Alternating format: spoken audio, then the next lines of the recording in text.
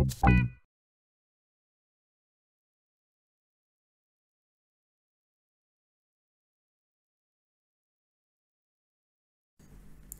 questa lezione eh, torneremo a parlare di variabili e approfondiremo eh, il concetto di eh, variabile globale o variabile locale. In informatica eh, si chiama anche visibilità delle variabili. Andiamo subito a vedere in Scratch come si gestisce eh, la visibilità delle variabili. Abbiamo bisogno di eh, più sprite, adesso ne aggiungiamo qualcuno anche casualmente. Ops, no, questa non mi piace. Diciamo anche... Eh, sì, un orso va bene. Separiamoli un po'. Ok, andiamo a vedere sulle variabili. Adesso eliminiamo questa la variabile di default. Ma vedete nessuno sprite in nessuno sprite eh, è visibile eh, sono visibili variabili. Creiamo una nuova variabile. Adesso approfondiamo queste due spunte. Come vedete c'è la possibilità eh, di spuntare per tutti gli sprite o solo per questo sprite è abbastanza intuitivo eh, variabile che spuntando per tutti gli sprite, questo significa che eh, qualunque sprite del nostro progetto eh, avrà accesso a, a, questa, eh, a, questa, variabile. Per riconoscerla adesso la chiameremo eh, variabile globale per esempio. Quindi eh, se ad esempio posso far dire, ora dovrei mettere innanzitutto un valore la mia variabile. Ah, anzi vediamo specifichiamo. Ciao sono una variabile globale.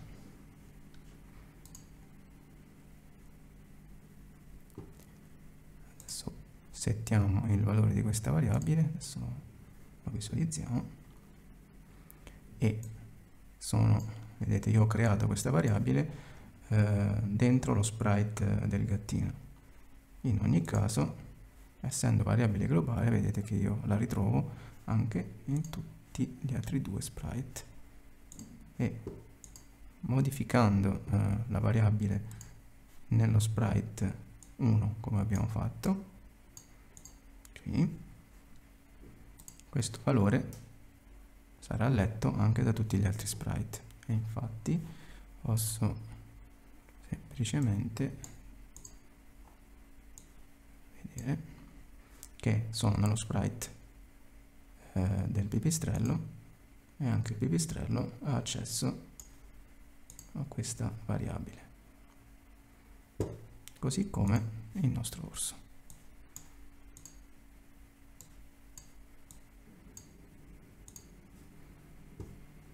mettiamo più giù.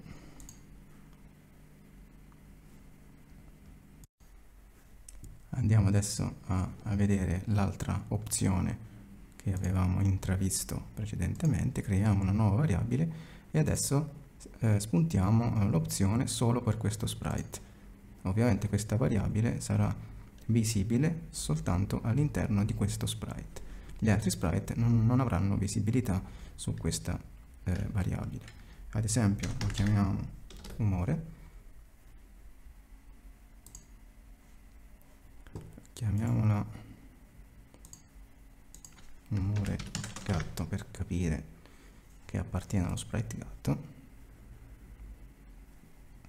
Come vedete mh, se proviamo a eh, visualizzare sullo schermo eh, il valore della variabile vedete che appare eh, eh anche il nome dello sprite a cui appartiene proprio perché si tratta di una variabile locale.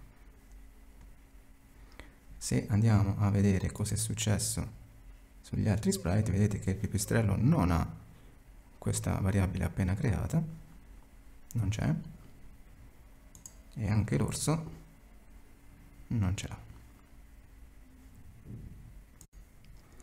E vediamo infatti eh, qualche, qualche, esempio. Ora eh, voglio creare una variabile umore eh, che come è facile intuire stabilisce l'umore di ogni sprite anche per gli altri due. Creiamo un'altra variabile con visibilità locale. Chiamiamo umore e per distinguerlo per adesso possiamo chiamarlo umore pat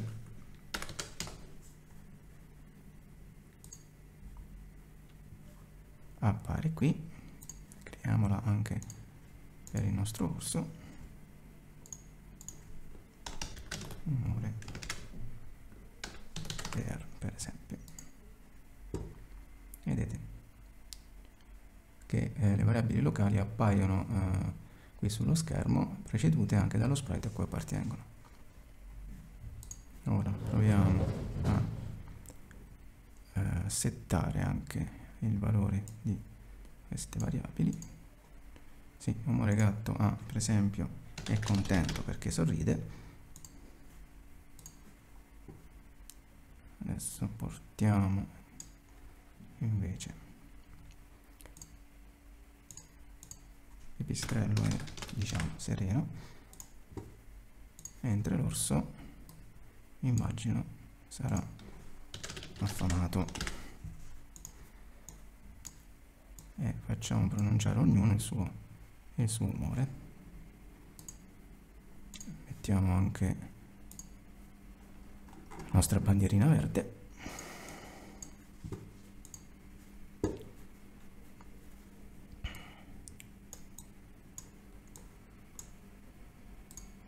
variabile umore bat anche qui togliamo questa e amore gatto e bandierina verde. Qui sopra. Ora proviamo. Ognuno dice la sua. E eh, l'ultima cosa da vedere è che in realtà eh, le variabili eh, locali eh, non è che siano, non siano visibili eh, dagli altri sprite, eh, il fatto è che non possono essere, il loro valore non può essere modificato dagli altri sprite. C'è un'opzione sui sensori invece che ti permette di andare a leggere anche il valore di variabili locali di altri sprite, che è questa sui sensori. Vedete la prima tendina eh, ci dice ehm, la variabile. In realtà va usato al contrario nel senso che bisogna prima settare eh, la seconda opzione che, che sono i nostri sprite. Vedete non c'è io sono sullo sprite bat non c'è bat. Ci sono tutti gli altri eh, e c'è anche lo sfondo. Andiamo per esempio a leggere eh, le variabili locali dello sprite 1 che lo sprite 1 per noi è il gattino e come vedete in questa eh, tendina appaiono tutte le variabili locali dello sprite 1. Ci sono le variabili locali di default come la posizione x, posizione y, la direzione, eh, addirittura anche il numero del costume, insomma tutte cose private del, eh, del nostro sprite e anche tutte le variabili create da noi locali. Quindi posso andare a leggere l'umore del mio gatto ovvero il mio pipistrello può andare eh, a leggersi l'umore del gatto. Facciamo un piccolissimo esempio. Possiamo dire il gatto è?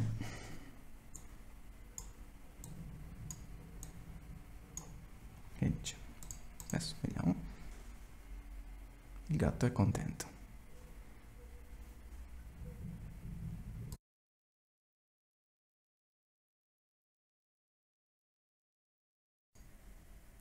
Andiamo adesso eh, a eh, spiegare eh, un interessante eh, feature di, eh, che ci mette a disposizione Scratch che, a cui in realtà non corrisponde esattamente un, un concetto fondamentale dell'informatica, però essendo Scratch un linguaggio mh, di programmazione basato sostanzialmente sugli sprite, spessissimo può accadere eh, di aver bisogno di eh, tante copie dello stesso, eh, dello stesso, sprite che facciano un po' eh, le stesse cose.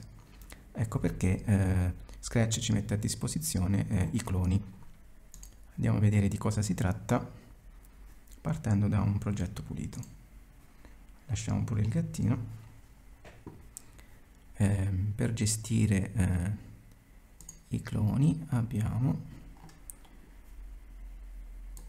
eccolo qui. Queste tre istruzioni di cui la principale è questa. Ora creare un clone eh, di, di, uno sprite ora vedete questa, questa, istruzione ha una tendina.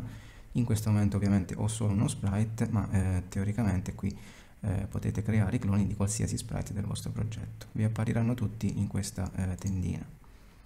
Ora creare un clone vuol dire creare un'esatta copia anche se non la vedremo apparire eh, fra gli sprite del, del nostro progetto ma virtualmente crea una copia esatta lo proviamo singolarmente ho, ho cliccato su crea clone vedete prima non lo vedevamo perché ovviamente è, mh, essendo una eh, una copia esatta si posiziona esattamente sopra eh, l'originale, tra virgolette. Questo potrebbe essere il clone, eh, dovrebbe essere mh, lo sprite originale. Se lo cambiamo, no, quello originale direi che è questo. Lo vediamo dal fatto che eh, cambia eh, la posizione eh, qui. Posso continuare a creare cloni. Come vedete, creo un altro clone è un altro clone ecco i cloni si distruggono eh, con questa opzione adesso non funziona capiremo poi perché eh, nel momento in cui eh, si crea un clone eh, viene generato l'evento quando vengo clonato.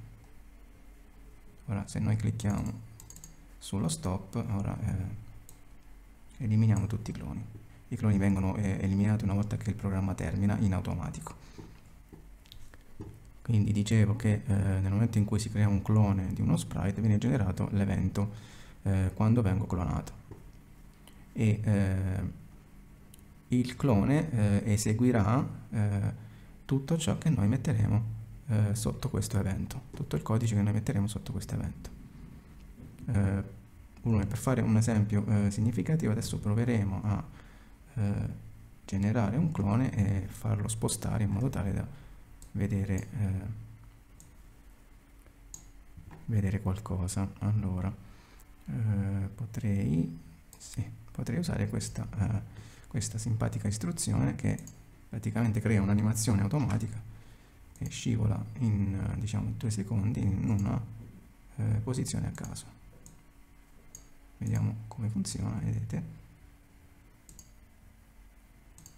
Totalmente casuale vediamo pure ora io creerò un clone di, di me stesso cioè del gatto e automaticamente vedremo spostarsi il suo clone in una posizione casuale se continuo vedete ne crea altri ne crea altri ne crea altri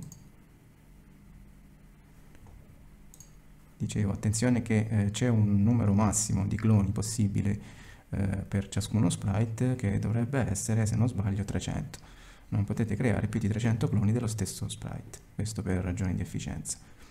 Per rendere eh, completo eh, questo mini esempio, eh, una volta fatta la nostra ehm, animazione, elimineremo questo clone. E vediamo adesso l'effetto.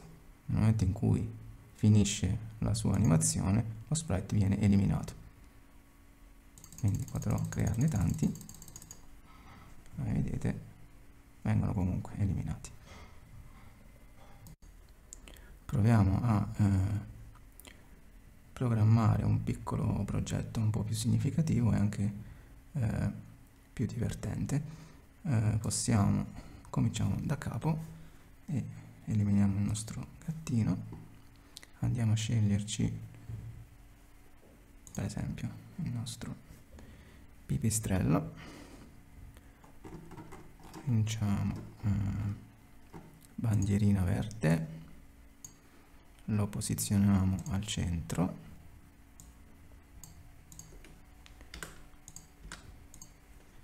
e quello che voglio fare in pratica è eh, generare dei fantasmi eh, di, del nostro sprite che eh, se ne andranno in giro casualmente, ehm, in, cioè partiranno in una direzione casuale fino a quando raggiungeranno il bordo eh, e, e, lì eh, scompariranno. Dimensioniamo opportunamente eh, il nostro pipistrello, diciamo 60 anche 50. Ok, così potrebbe andare bene aspetto aspetto passiamo a porta dimensione a 50 ovviamente deve essere visibile. E ok. Adesso facciamo un piccolo ciclo. Diciamo posso anche sì vediamo il ciclo per sempre e generiamo un clone ogni, ogni secondo. Creiamo un clone di me stesso e con la nostra pausa lo faremo creeremo un clone ogni, ogni secondo. A questo punto andiamo a e ecco ci serve la terza istruzione dei cloni cioè il nostro evento. Ogni volta che verrà clonato eh, vi ricordo che verrà eseguita eh, la sequenza di istruzioni che porremo sotto l'evento quando vengo clonato. Allora quello che voglio fare è diciamo allora voglio far, per farlo eh, per dargli un aspetto di, di un fantasma ci sono eh, andiamo a vedere così anche altri, altre istruzioni molto molto carine eh, degli effetti sì andiamo a vedere questa istruzione porta l'effetto eh, fantasma. Diciamo a 50 in modo tale da farlo sembrare un fantasma. Ok. Eh, attenzione che ehm, eh, Scratch ricorda sempre l'ultima istruzione che si è fatta quindi se adesso riparto da qua avrò eh, il mio effetto fantasma anche sull'originale sempre a 50 c'è l'istruzione rimuovi effetti grafici che metteremo alla nostra inizializzazione. Quindi quando viene clonato lo faremo diventare un fantasma, eh, lo faremo partire in una direzione casuale, quindi facciamolo puntare in una direzione casuale tramite il nostro solito generatore di numeri casuali che abbiamo già visto. Un angolo giro lo facciamo eh, casuale da 0 a 360 gradi. A questo punto ci manca soltanto da mettere il nostro eh, ciclo, eh, deve eh, raggiungere il bordo poi scomparire. Quindi abbiamo bisogno del nostro ciclo, ripeti fino a quando, fino a quando non tocca il bordo. Se tocca il bordo, ecco il nostro sensore delle collisioni, aumentiamo un po' per farlo vedere meglio, sta toccando il bordo. Attenzione che eh, il ciclo funziona in questo modo, cioè eh, quando questa eh, condizione diventa vera si esce dal ciclo, quando è falsa si continua. Quello che dobbiamo fare è semplicemente un, un movimento. Facciamo qualche passo, due o tre potrebbero essere sufficienti, ora, ora vedremo e soprattutto fondamentale, visto anche che abbiamo un ciclo infinito, eh, eliminare il clone. Lo eliminiamo proprio quando tocca il bordo. E facciamo un check, dovrebbe andare bene, vediamo cosa abbiamo combinato. Ed eccolo. Possiamo diminuire nostra pausa in modo da farli rigenerare di più e di più contemporaneamente. Ok, salviamo pure questo piccolo esempio. E sulla nostra solita cartella e lo chiamiamo eh, diciamo cloni fantasma potrebbe essere un nome appropriato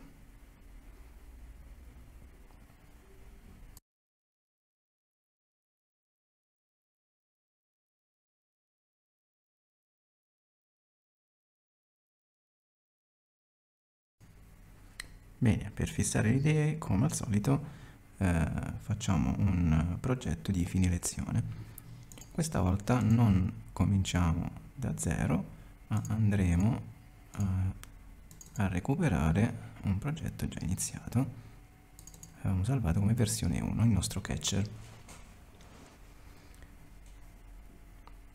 Ok, eh, se eh, ricordate ci eravamo fermati a fatto che eh, per avere più oggetti che cadono eh, ero costretto eh, a duplicare mediante la funzione tasto destro duplica i nostri sprite. Adesso che abbiamo studiato i cloni vedremo come evitare questa duplicazione utilizzando appunto i nostri cloni. Quindi eh, nella, come, nella come nel più classico uso dei cloni eh, il nostro eh, sprite originale eh, non lo useremo ma lo nasconderemo. Quindi all'inizio con la nostra bandierina verde nascondi new apple. Diciamo lo possiamo togliere. Questa ci servirà. Ora quando riceveremo il messaggio di inizio gioco quello che dobbiamo fare è creare appunto i nostri cloni. E per farlo utilizziamo direttamente un ciclo decidendo quanti cloni alla volta ci saranno. Per adesso mettiamo 3 e andrò a creare il mio clone e la nostra solita attesa di un secondo manca ancora ovviamente quando vengo clonato. Dunque dunque dovrebbe andare bene. Sì. Ok non ha funzionato. In realtà i cloni stavano scendendo perché abbiamo visto che il punteggio stava diminuendo però non, non erano visibili. Infatti bisogna per ogni clone visi renderlo visibile. Perché eh, essendo un clone di vedete che l'abbiamo inizializzato nascosto viene copiato nascosto. Quindi manca il nostro mostra. Con 2 eccoli. Qua semplice. Vedete qual è la potenza del clone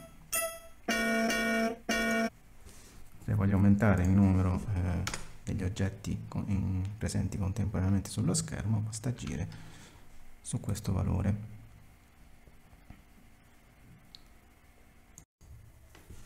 Eh, andiamo avanti aggiungiamo eh, qualche altra eh, feature al nostro, al nostro progetto. Eh, ad esempio ehm, questo progetto eh, questo gioco sostanzialmente non ha, non ha una fine eh, visto che eh, il ciclo è, è, infinito, questo ciclo è infinito. Quindi possiamo ehm, prevedere una fine e ad esempio la, la prevediamo con eh, dopo eh, un tot di secondi diciamo che finisce, finirà il gioco mettiamo 60 secondi eh, per farlo andiamo a vedere un'altra eh, un altro strumento che ci mette a disposizione il nostro Scratch che è il eh, cronometro o timer. Le due ehm, istruzioni sono questa e ovviamente il recupero del valore del cronometro. Vediamo brevemente il funzionamento. Vedete che il cronometro è sempre attivo. Lo possiamo azzerare con questa istruzione. Vediamo ora come eh, utilizzare il nostro cronometro per far terminare eh, il nostro gioco dopo un tot di secondi. E vediamo un po', questa eh, dobbiamo cambiarla e andiamo eh, sui messaggi e usiamo eh, l'invio del messaggio senza attesa, azzeriamo il cronometro, andiamo a prendere il nostro ciclo eh, per sempre. Eh, sì possiamo usare anche questo eh, e controllare al suo interno il valore del nostro cronometro con la condizione se è maggiore di un tot di secondi. Eh, per fare una prova metteremo semplicemente 5 secondi per vedere se funziona. Quando è maggiore di 5 devo fermare tutto e abbiamo già visto l'istruzione per fare questo che è il ferma tutto ok vediamo. Dopo 5 secondi e il nostro gioco termina. Andiamo velocemente a eh, diminuire il volume del, dei suoni dei, dei, nostri suoni che durante eh, lo sviluppo danno un po' fastidio. Quindi andiamo sulla nostra mela nostri, sulla nostra tab suoni e proviamo ad ogni suono a vedete, diminuire il volume. Soprattutto questo potremmo anche perfino metterlo muto per adesso.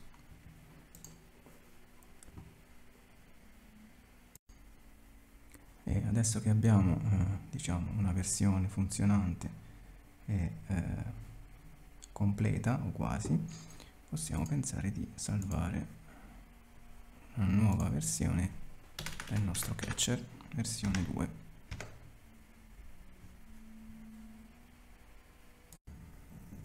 e andiamo pure avanti eh, nello sviluppo del nostro gioco e adesso eh, proviamo a eh, cambiare eh, la modalità di, di, ehm, eh, di movimento eh, o di comando eh, della nostra ciotola, non più con eh, le frecce, ma ad esempio usiamo il mouse. Per farlo eh, possiamo pensare di utilizzare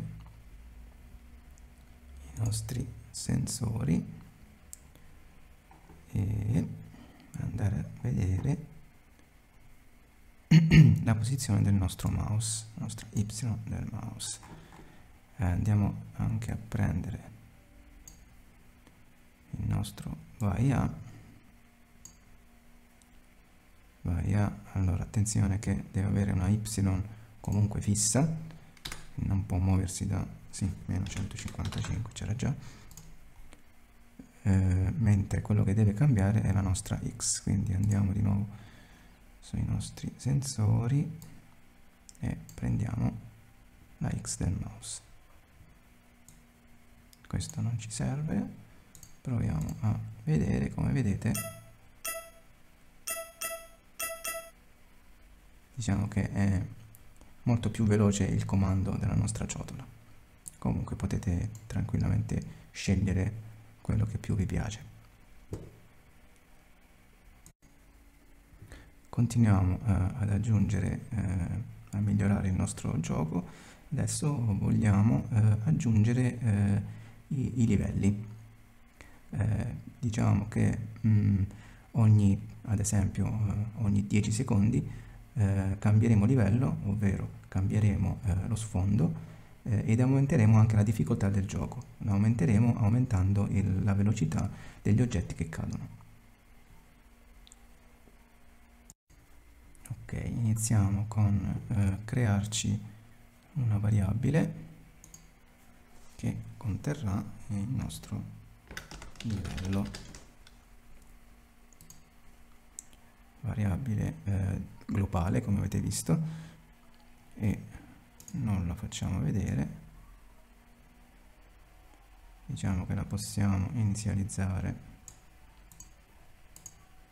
a livello 1 ora facciamo durare un po' di più il nostro, il nostro gioco. Ok eh, nel momento in cui bisogno di un controllo il nostro se.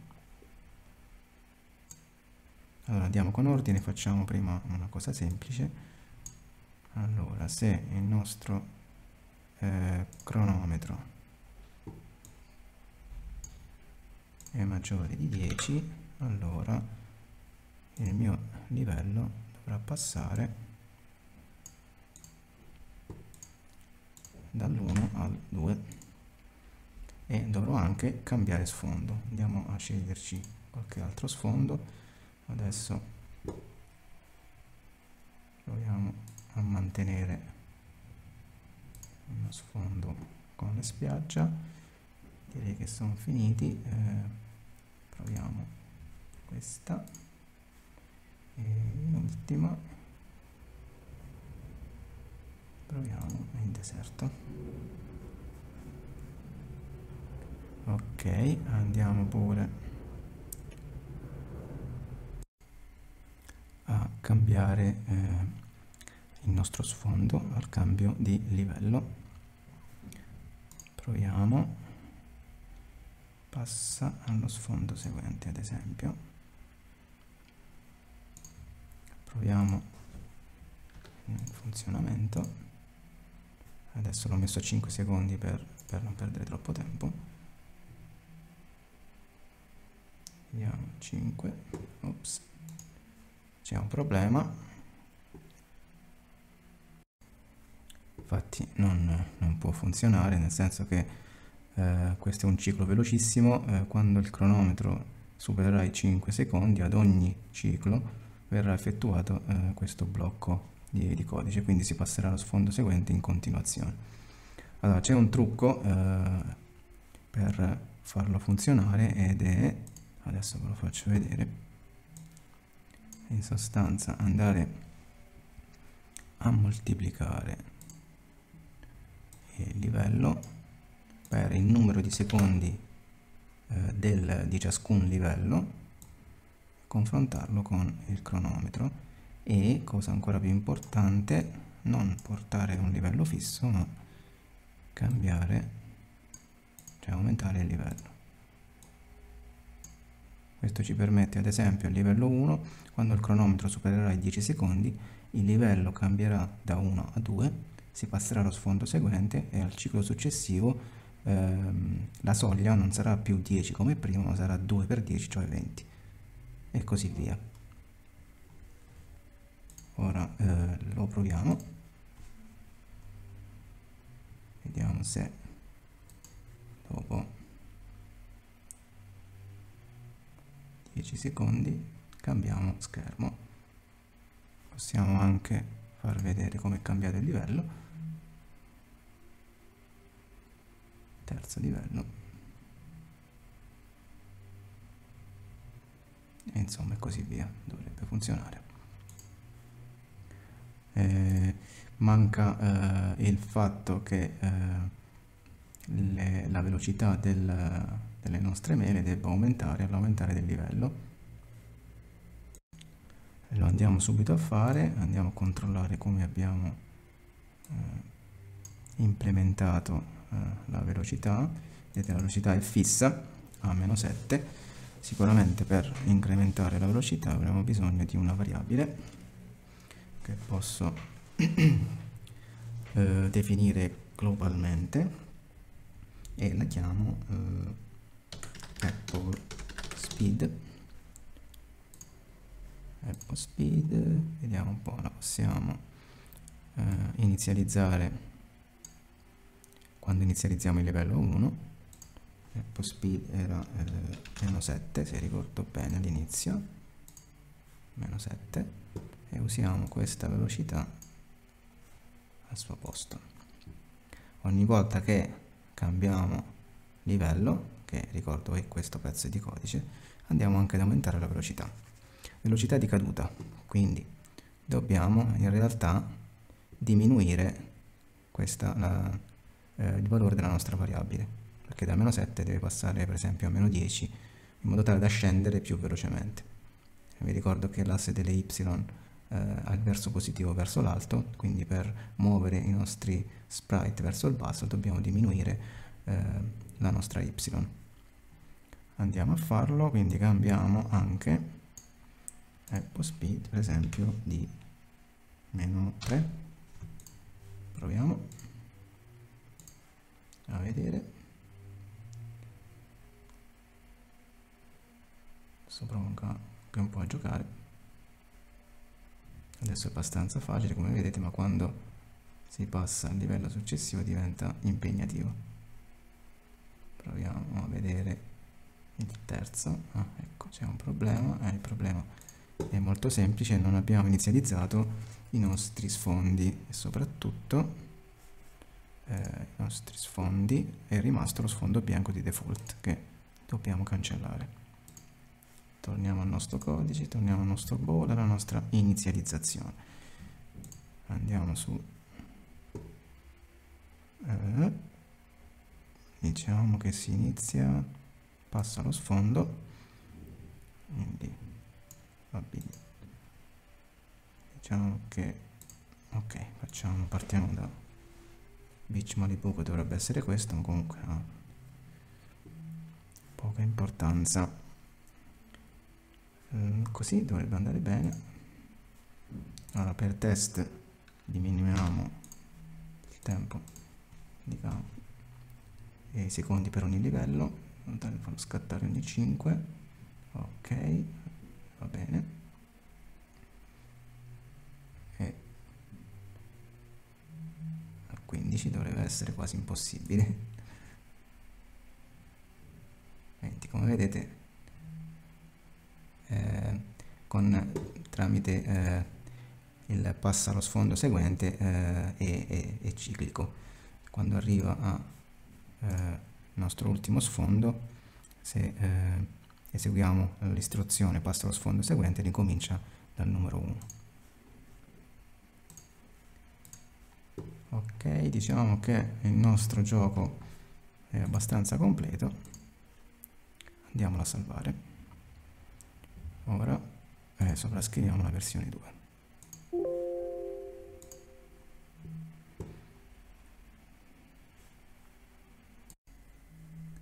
aggiungiamo ancora eh, un'altra feature al nostro gioco per renderlo un po' più, eh, più difficile. Cioè aggiungeremo adesso eh, un altro sprite eh, o meglio un altro oggetto che cadrà dall'alto eh, che, ehm, che, nel momento in cui verrà preso eh, farà terminare il gioco. Andiamo a sceglierci uno sprite. Andiamo vediamo qualcosa che ci possa ricordare una cosa pericolosa. Possiamo anche cercare eh, con la funzione cerca io cercavo il mio scheletro. Eccolo ecco il mio scheletro e cominciamo le nostre solite inizializzazioni. Bandierina verde. Allora vediamo che è troppo grande. Sicuramente andrà rimpicciolito così è troppo. Eh, non 40 è un po' 40 potrebbe andare bene mettiamo 35 ok. Quindi dimensione. 35 eh, siccome ce ne sarà uno, eh, uno alla volta, non più di uno alla volta, non c'è bisogno di eh, creare dei cloni, quindi utilizzeremo sempre solo questo. Diciamo che all'inizio non sarà visibile e possiamo implementare nostro, eh, la nostra caduta. Quando ricevo l'inizio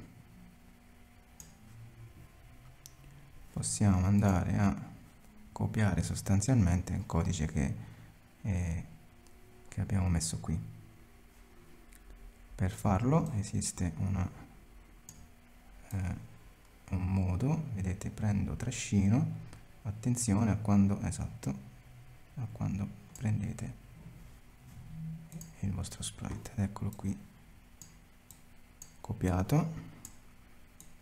Ovviamente non abbiamo la, la nostra eh, vediamo se l'ha copiata.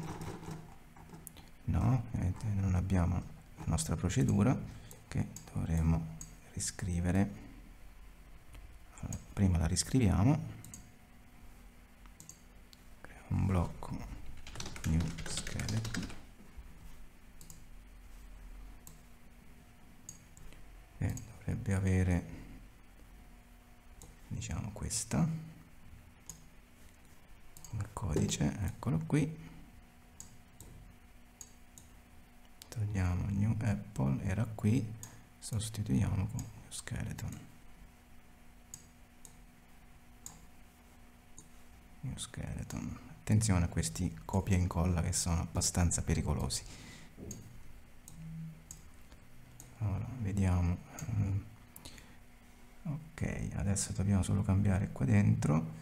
Uh, sì possiamo usare anche eh, la stessa variabile per la velocità del nostro scheletro.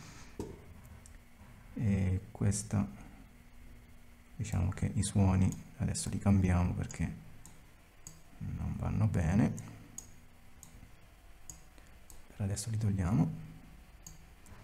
Ora eh, addirittura quando sto toccando bowl in realtà è quello che deve succedere che deve terminare il gioco. Quindi adesso molto semplicemente facciamo fermare tutto magari giusto per dire qualcosa. Sì, lo facciamo dire dallo, dallo scheletro direttamente potrebbe essere simpatico. Hai perso.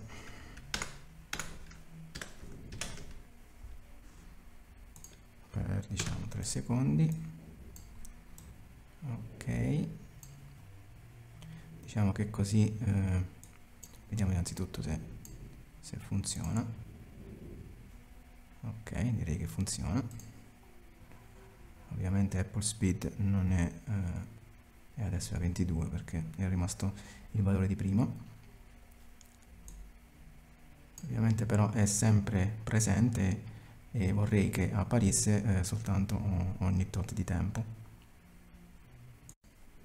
E per farlo direi che possiamo ogni volta che genero un nuovo scheletro o meglio più che generarlo lo riporto all'inizio per farlo cadere possiamo dare un'attesa di tot di secondi eh, e rendiamolo anche casuale. Ok proviamo. Ora andiamo a togliere tutte le nostre variabili. Apple speed sicuramente non mi serve livello no punteggio sì.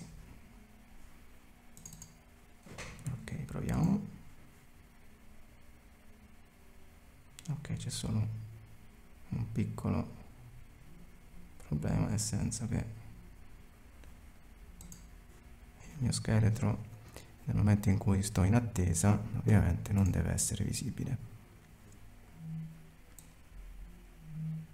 Quindi lo nascondiamo lo mostriamo solo dopo che l'abbiamo posizionato.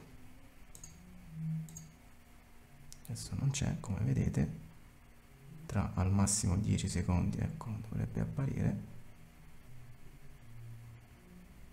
Vediamo se riappare. Eccolo. Ed eccolo qua. Ho perso